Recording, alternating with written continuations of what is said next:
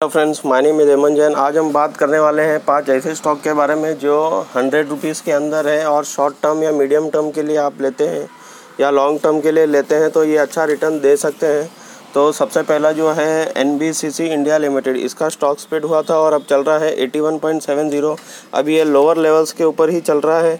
लगभग 52 वीक लो का ही आप समझिए 81.65 और हाई 145 का है। तो ये गवर्नमेंट की नवरत्न कंपनी है। और आने वाले समय में इनके पास ऑर्डर काफ़ी ज़्यादा है और वापस यहाँ से बाउंस बैक कर सकता है। तो लोअर लेवल्स पे अगर आप लेंगे तो काफ़ी अच्छा रिटर्न मिल सकता है। अगर आपको लगता है और नीचे आ सकता है तो थोड़ा और वेट कर सकते हैं। लोअर लेवल्स पर ही लीजिए। तो दूसरा स्टॉक है हमारा भेल का। भारत हैवी इलेक्ट्रॉनिक्स लिमिटेड ये भी मीन्स काफ़ी प्रेशर में रहा है। 74.90 के करीब चल रहा है।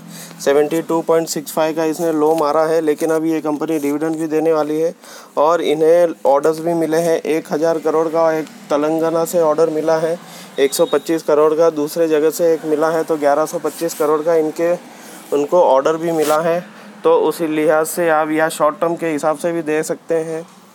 तो तीसरा हमारा स्टॉक है फेडरल बैंक का। ये एक प्राइवेट सेक्टर की बैंक है और अभी ये लोअर लेवल्स के ऊपर ही चल रही है 82.25 के ऊपर। इसका 52 वीक लो देखेंगे तो 80 का है और 127 का इसका हाई है। तो राकेश झुंझुनवाला जी ने भी इस स्टॉक को ले रखा है। अगर लॉन्ग टर्म या मीडियम टर्म का आपका नज़रिया तो ये भी एक बेहतर स्टॉक हो सकता है। चौथा स्टॉक है मन्नापुरम फाइनेंस लिमिटेड ये एक एनबीएफसी है, गोल्ड लोन देती है और अब धीरे धीरे टू व्हीलर लोन और दूसरे एस एम लोन्स के अंदर भी जाने वाली है। तो वन ज़ीरो वन के ऊपर चल रहा है। एट्टी वन का लो है, एक सौ तीस का हाई है। ये भी short term to medium term या लॉन्ग टर्म के नज़रिए से भी अगर आप लेते हैं तो ये भी काफ़ी अच्छा स्टॉक है। और पाँचवा हमारा स्टॉक है। रिलायंस होम फाइनेंस लिमिटेड 68.50 के ऊपर चल रहा है। इसने कुछ दिनों पहले 53 का लो बनाया था, वहाँ से चलते हुए 6870 के करीब आया है, लेकिन इसका जो हाई देखेंगे तो 115 है। ये डीमर्जर होके आई है रिलायंस कैपिटल से। अगर लॉन्ग टर्म का नज़रिया है तो इस स्टॉक को भी लगभग 60 के करीब आप ले सकते हो। 60 या 55 आता है तो 60 के करीब अच्छा लेवल है। तो लॉन्ग टर्म का अगर नज़रिया रहते हैं या एक साल का भी लेते हैं तो यहाँ से ये स्टॉक आपको अच्छा रिटर्न दे सकता है।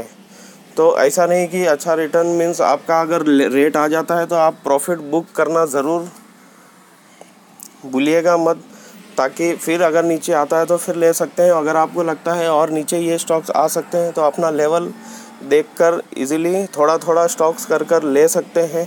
ताकि आपको लॉन्ग टर्म से मीडियम टर्म में काफ़ी अच्छा रिटर्न मिल सके। तो आज इसी के बारे में बताना था ताकि आपको भी आइडिया आ सके इन स्टॉक्स के बारे में जो हंड्रेड रुपीज़ के अंदर है सेवेंटी एट्टी सिक्सटी के ऊपर। और कुछ स्टॉक्स तो आप ले ही सकते हो, मान लीजिए बीस बीस, तीस तीस, पचास पचास स्टॉक तो इजीली ले सकते हो अभी। और नीचे लगता है तो और पचास पचास ले सकते हो ताकि short term to medium term में आपको काफ़ी अच्छा मुनाफा मिले। तो आज इसी के बारे में बताना था और अगर आपको वीडियो अच्छा लगा तो लाइक ज़रूर करिएगा और हमारे चैनल को सब्सक्राइब ज़रूर करिएगा ताकि ऐसे इंपॉर्टेंट अपडेट्स आप तक हम पहुँचाते रहें। चलिए थैंक यू